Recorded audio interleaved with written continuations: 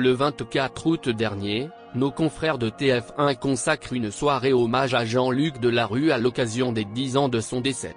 Ainsi, de nombreuses célébrités, comme Nico Saliagas, Michel Denisot ou encore Flavie Flamand ont été interrogés sur les souvenirs qu'ils avaient de l'ancien animateur de France 2.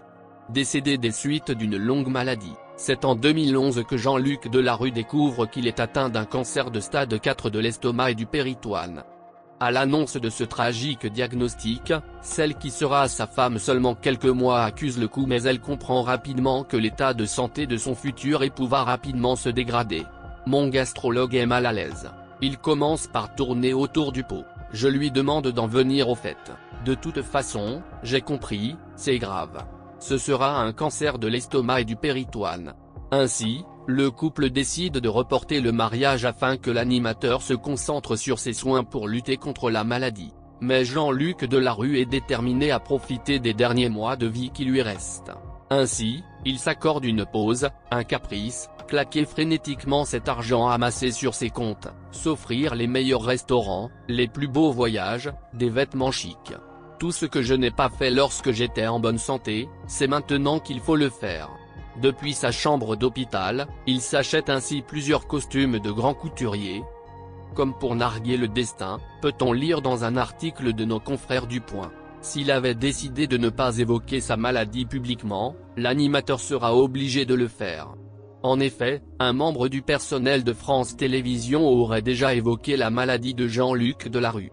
Alors, c'est avec courage et détermination que l'animateur prendra la parole lors d'un point presse organisé dans les locaux du groupe. En aucun cas, le futur mari d'Anissa ne veut être vu comme un malade. Il continue ainsi ses réunions dans son appartement et même à l'hôpital. Mais la maladie le rattrape, il souffre. Certains jours, il arrive à retrouver de l'énergie, à tel point qu'il va se marier le 12 mai 2012 dans sa propriété de Belle-Île-en-Mer avec Anissa. Le bonheur de cette union sera de courte durée. Quelques semaines après son union, Jean-Luc Delarue s'éteint, il m'a demandé de fermer les volets, d'éteindre la lumière, de lui donner ses boules qui Il s'est endormi, j'ai pris un livre, j'étais auprès de lui. Et il s'est éteint dans son sommeil. J'ai le sentiment qu'il est parti en paix parce qu'il s'est endormi avec le sourire. Les derniers jours de sa vie ont été un véritable calvaire. L'animateur souffre d'occlusion et ne parvient plus à s'alimenter correctement. Hospitalisé, on lui installe une sonde gastrique et une perfusion pour le maintenir en vie. Jean-Luc Delarue pense à sa mort, aux photos qui pourraient être prises de son cercueil ou bien de l'ambulance.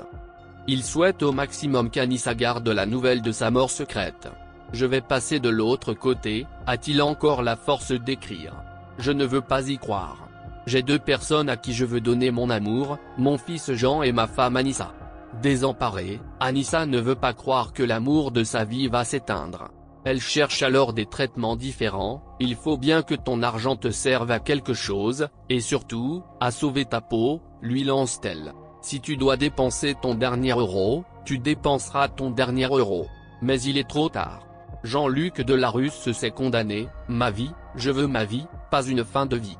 Je pense à ceux que j'abandonnerai certainement, malgré moi, malgré mon amour vital pour eux. Pardon de vous infliger cette souffrance qui va fondre sur vous.